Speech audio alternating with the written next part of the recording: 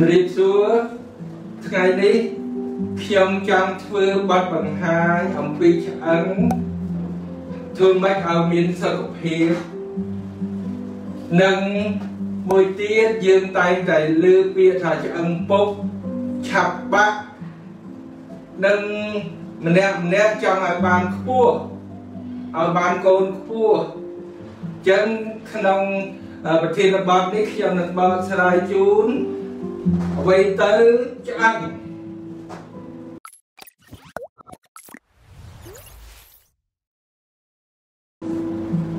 ឆ្អឹងមនុស្សយើងមាន206កូនក្មេងតែច្រើនទៀតក្រោយមកឆ្អឹងខ្ចីហ្នឹងវាទៅជារឹងទៅវារួចចូលគ្នាចឹងឆ្អឹង មាន206ចែកចេញជាច្រើនប្រភេទគេចែកចេញជាឆ្អឹងវែងដូចដៃដូចជើងយើងដូចឆ្អឹងនេះគេហៅឆ្អឹងវែងឆ្អឹងខ្លីដូចនៅតាមម្រាមដៃគេហៅឆ្អឹងខ្លីឆ្អឹងសំប៉ែតនៅទ្រូងនៅផាល់ និងឆ្អឹងកងឆ្អឹងខ្លះមានរាងកងែកកងប់ដូចជាស្គៀមយើងតែវាមានកងែកកងប់ច្រើនតាំងពីយើងកកើតមកមនុស្សវាមានឆ្អឹងសម្រាប់ការពារដោយក្បាលយើងនឹងសម្រាប់ការពារនៅណាតាអត់ឆ្អឹងក្បាលខ្លាចប៉ះមកខួរប៉ះ សម្រាប់អីទៀតសម្រាប់ត្រត្រង់មានជំងឺមួយគេហៅប៉ាឆេតឆ្អឹងទុនហើយខ្លួនអីទុនឆ្អឹងវាអត់រឹងការជំងឺប៉ាឆេតមួយទៀតដូចខ្ញុំបានឡាយខាងមុននៅក្នុងខួរឆ្អឹងក្រហមជាអ្នកបង្កើតគ្រាប់ឈាមក្រហម សនិងផ្លាកេតចឹងឆ្អឹងមានជាតិអីខ្លះបានវារឹងមកឆ្អឹងវាមានក្បាលវាទាំងសងខាងតែងតែមានកាហៅឆ្អឹងខ្ចីដែលមានឆ្អឹងខ្ចីដែលមានឆ្នាំគេកាលណាអ្នកណាសឹកឆ្អឹងខ្ចីនឹង គេមានឆ្នាំគេលក់សម្រាប់កុំឲ្យសឹកឆ្អឹងខ្ចីហ្នឹងចឹងវាសម្រាប់ត្រត្រង់បង្កើនការជាប់ឈាមសម្រាប់ការពារមួយទៀតតួនាទីវាសម្រាប់ស្រូបជាតិរ៉ែពុលដូចជាសំណអាស៊ីនិកអីហ្នឹងវាជាពុលមាគីអីបើមាននៅក្នុងខ្លួនវាស្រូបយកអញ្ចឹងឆ្អឹងវាមានការងារវា4ចឹងធំអញ្ចឹងចំណោទសួរច្រើនទី1សួរថាធ្វើម៉េចឲ្យខ្ញុំបានកូននឹងពោះជារួមខ្មែរយើង ស្ត្រីដែលល្អគឺមួយម៉ាត់60ទៅ65 67 68នឹងគេនិយមមកសម័យឥឡូវហើយឲ្យមានរាងមានសាច់មានអីទៅគឺស្លៀកពាក់មកស្អាតចំពោះប្រុសពី1ម៉ាត់70ទៅ1ម៉ាត់80ហើយយើងមានសាច់មានអីទៅសំរុំរបស់យើង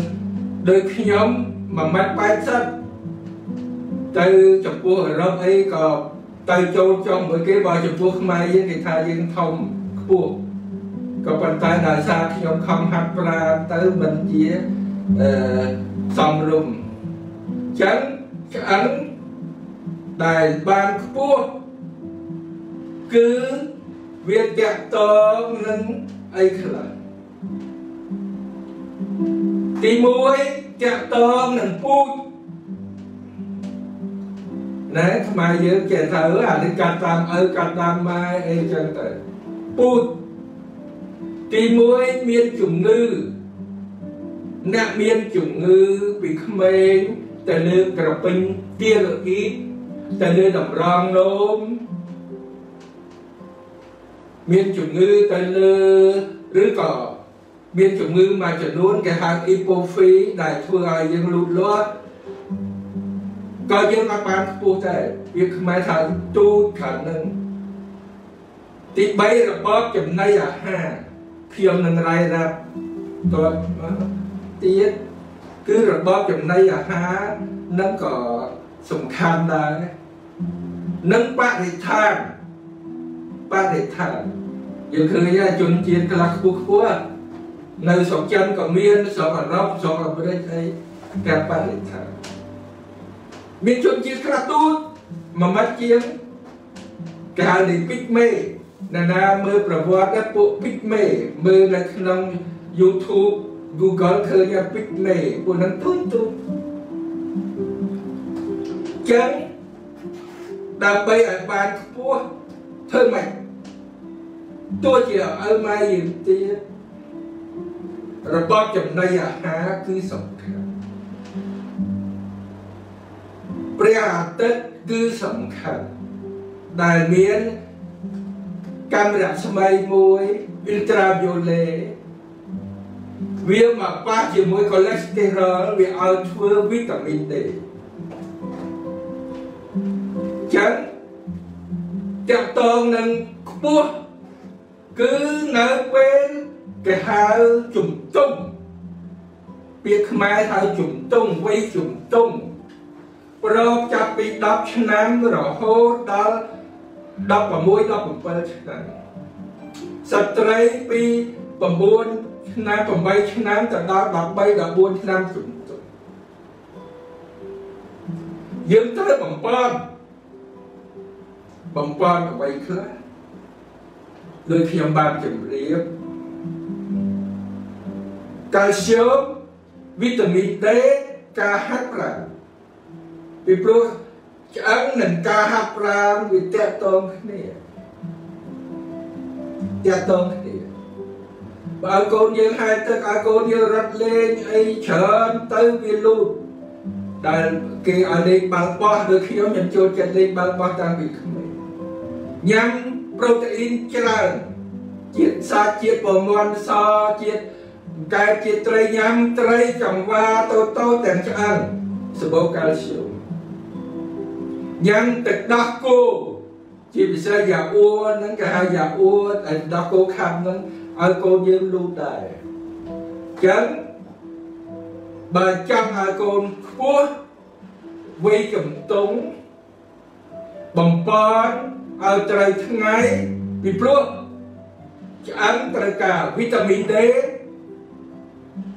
ត្រូវការកាល់ស្យូមត្រូវការហ្វូស្វាត ត្រូវការម៉ាញ៉េស្យូមត្រូវការប្រូតេអ៊ីន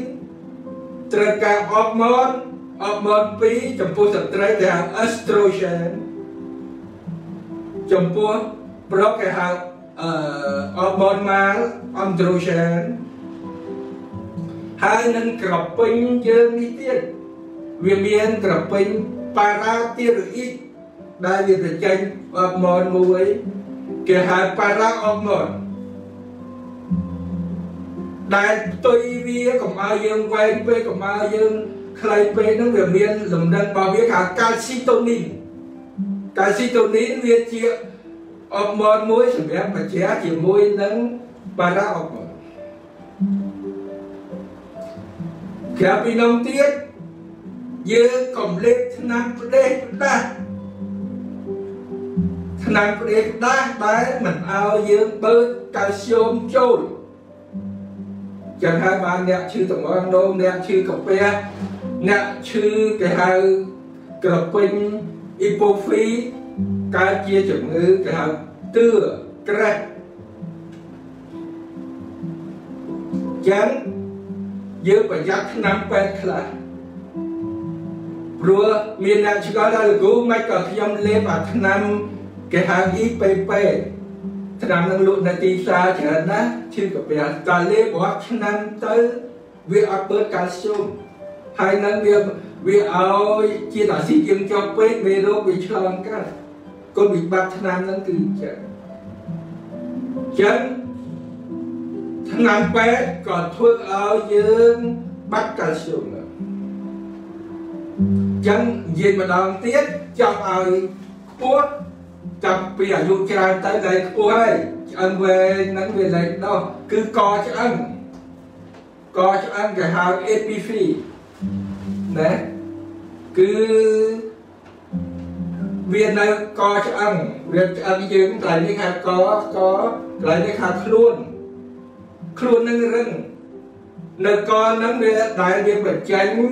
ក្របឈាមហ្នឹងគឺនៅពួកឆ្អឹងសបែកហើយនៅកឆ្អឹង ចឹង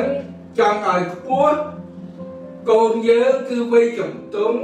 ដូចខ្ញុំបាននិយាយមិញអញ្ចឹងខំបំពន់កាល់ស្យូមប្រូតេអ៊ីនឲ្យហាត់ប្រាណឲ្យត្រូវកម្ដៅថ្ងៃចឹងជាជំងឺមួយជាបំណងមួយរបស់យើងទាំងអស់គ្នាស្ត្រីពី1ម៉ែត្រ60ទៅ68 ហើយយើងខំឲ្យមានសាច់មានអីទៅស្អាតហើយប្រពី1ម៉ែត្រ70ទៅ80វិធីហ្នឹងគឺតាតលឪពុកម្ដាយសាលារៀនគ្រូឲ្យអប់រំសិស្សទៅតាមហ្នឹងទី2ជំងឺឆ្អឹងមួយទៀតគេហៅបាក់កាលណាឆ្អឹងយើងមិនមន់ធ្វើឲ្យបាក់ ដែលយើងចំណាំថាជំងឺពុកឆ្អឹងតែឆ្អឹងយើងមិនមន់ទេបាទចឹងហើយបានជាយើងត្រូវហាត់ប្រាណយើងត្រូវកម្ដៅថ្ងៃយើងញ៉ាំអាហារគ្រប់គ្រាន់ឆ្អឹងយើងមន់ខ្មែរយើងចំណាំថាអូអានេះឆ្អឹងធំធំណាណាឆ្អឹងយើងមន់បាក់នេះគឺគេមានឯកទេសមួយគេហៅគ្រូពេទ្យបែកបាក់ ធ្វើម៉េចឲ្យឆ្អឹងយើងទល់មុខគ្នាវាជាប់វិញឯងជាប់មមជាងដើមផងរពេលរយៈពេលដែលគេអបមួយខែពីរខែបីខែបួនខែទៅតាមឆ្អឹងពីព្រោះឆ្អឹងវាមានសាច់ដុំចឹងស៊ីសតបាក់ខ្លះវាបែកជាកំទេចតលគ្រូពេទ្យឯកទេសបាក់ខ្លះរៀនឆ្អឹងមកក្រៅតលគ្រូពេទ្យឯកទេសខាងវាកាត់ យើងកុំទៅគ្រូខ្មែរហើយបាក់គេមានវិធីគេធ្វើមិនឲ្យទល់គ្នាចេះគេអបវាឬក៏គេមូលវិសឬក៏គេបុកដែកឲ្យចូលទៅវាជាប់គ្នាវិញហើយសូមបងប្អូនទាំងអស់យល់ទាំងប្រជាជនយើងត្រូវយល់ព្រោះកាលណាបាក់សាច់ដុំវាជាប់ឆ្អឹងទៅទាញឲ្យ វាវាចេះហើយតែជាប់ពិបាកធ្វើចឹងគ្រូពេទ្យគេទាញឲ្យទល់មុខគ្នាប៉ុន្តែបញ្ហាធំគឺឈឺថ្ងៃដំបូង2 3ថ្ងៃពេលបាក់គឺឈឺពេលដែរកំពុងតែបាក់ទៅឈឺសូមបងប្អូនកុំទៅធ្វើជួនកាលវាមានមុខវាស្រួច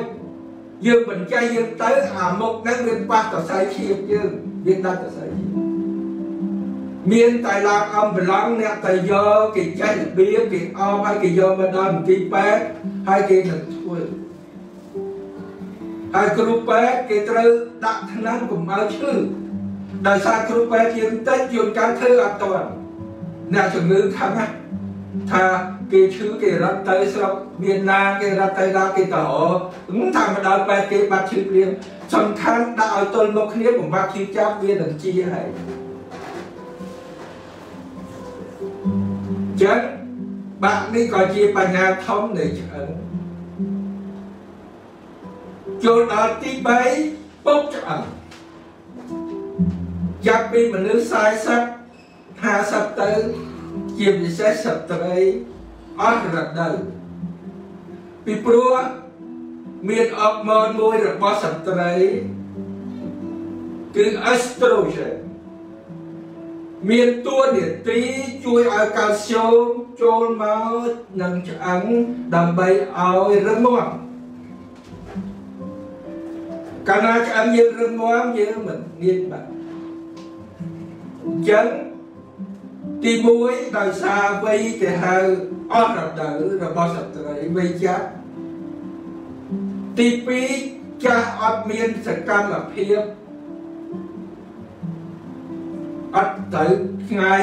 អត់បានដើរឆ្អឹងយើងឆាប់ពុកទី3លេខឆ្នាំផ្ដេផ្ដាស់ដោយខ្ញុំបាននិយាយមិញឆ្នាំគេហៅ steroid កូទីកូអ៊ីពីបារ៉ាបាត់ឈឺចង្កេះ បាត់ឈឺអីហ្នឹងទៅទិញឆ្នាំផ្ដេផ្ដាស់លេខធ្វើឲ្យពុកឆ្អឹងបាក់ឆ្អឹងឆ្នាំ IPP ដែលយើងធ្លាប់លឺហើយ Esomeprazole Barbiturate Nexiomen តែលេបរាប់ឆ្នាំក៏ពុកឆ្អឹងឆ្នាំខ្លះវាបន្ថយការបើករបស់កាល់ស្យូមដូចឈឺកាពះ វាតាក់ទងនឹង gastrin ចឹងក៏ធ្វើឲ្យពុកឆ្អឹងចឹងពុកឆ្អឹងជាបញ្ហាធំធ្វើម៉េចឲ្យដឹងវាមានកើតនៅលើស្ត្រីឬបរិះក្មេងដែរដោយសារមិនសូវត្រូវថ្ងៃខ្វះកាល់ស្យូមមនុស្សពេញវ័យក៏បញ្ហាឆ្នាំពេទ្យមនុស្សចាស់បញ្ហាអស់មកតើ យើងកែរបៀបមិននៅក្នុងឆ្នាំពេទ្យគេមានលក់កាល់ស្យូមវីតាមីន D យើងទិញទេកាល់ស្យូមវីតាមីន D មានឆ្នាំសម្រាប់ក្រុមវានឹងគេហៅអាឡង់ដ្រូណាមានចាក់មានលេខលេខមួយអាទិត្យមួយក្របានជួយបំពងឆ្អឹងយើង ហើយត្រូវថ្ងៃត្រូវដើរត្រូវមានលំហាត់ទើបឆ្អឹងយើងនឹងរឹងមកហើយបើបាក់ជាពិសេសនៅតាគៀកាលណាបាក់គេយកចាញ់ហើយព្រោះអត់ជាប់វិញទេគេដាក់ឆ្អឹងខាងដៃសបនិមិត្តក្បាលឆ្អឹងមួយមកបុកចូលឆ្អឹងយើងចឹងហើយដៃនឹងវាត្រូវកកិតជាមួយ ដែលដើរប៉ុន្តែច្រើនទៅវិញចាស់បន្តិចហើយ70 80អីចាំមើលទៅពិបាកហើយជំងឺឯទៀតទៀតវាមានច្រើនណាស់ចំពោះឆ្អឹងដូចជាកង់សៀឆ្អឹងក៏វាមានបញ្ហាច្រើនប៉ុន្តែខ្ញុំលើកយកមកតែការលូតលាស់ឆ្អឹងបុកឆ្អឹងនិងបាក់ឆ្អឹងទៅ ចឹងសុខភាពឆ្អឹងធ្វើម៉េចទាំងខ្ញុំទាំងក្មេងទាំងចាស់ទី1ចំណីអាហារចំណីអាហារជាសុខភាពឆ្អឹងមួយសំធំណាស់យើងទម្លាប់ញ៉ាំខ្ចង់អឺត្រីបដូនអំពៅព្រោះដោយតាំងឆ្អឹងវាស្រួយ ណែវាសម្បូរជាតិអឺកាល់ស្យូមជាអាហារក្តាមកូនក្តាមយើងបំពងឲ្យស្រួយទៅទៅវាក្រិបក្រិបទៅបើអ្នកមានថ្មីសម្បូរកាល់ស្យូមទឹកដោះគោយ៉ាអ៊ូសម្បូរកាល់ស្យូមអឺប្រូតេអ៊ីនយើងឲ្យកូនយើងមានញ៉ាំប្រូតេអ៊ីនច្រើននាំវាទៅកីឡានាំវាទៅត្រូវព្រះអាទិត្យ ទោះជាមនុស្សចាស់ក៏ត្រូវការត្រូវព្រះអាទិត្យជាពិសេសព្រឹកព្រលឹមចឹងកាលណាយើងមានបញ្ហាឆ្អឹងហ្នឹងយើងត្រូវការពារប៉ុន្តែបើយើងមានជំងឺឆ្អឹងហើយយើងត្រូវលេបថ្នាំយើងត្រូវជាបាលភ្នែកពីព្រោះចាស់ព្រើព្រើព្រើព្រើដួលព្យាបាលភ្នែកកូនចៅត្រូវប្រយ័ត្ន កុំឲ្យគាត់ដួលអញ្ចឹងគឺឆ្អឹងវាសំខាន់ណាស់ចំពោះយើងធ្វើចំណីអាហារការហាត់ប្រាណត្រូវពលឺព្រះអាទិត្យនិងកុំលេបថ្នាំផ្ដេសផ្ដាស់សួរយោបល់គ្រប់ពេទ្យឈឺចង្កេះឈឺខ្នងពីព្រោះឆ្អឹងចង្កេះមាន33កាលណាវាពុកគេហៅពាក្យបារាំងគេតាសមង្វាសកតឡើង18កា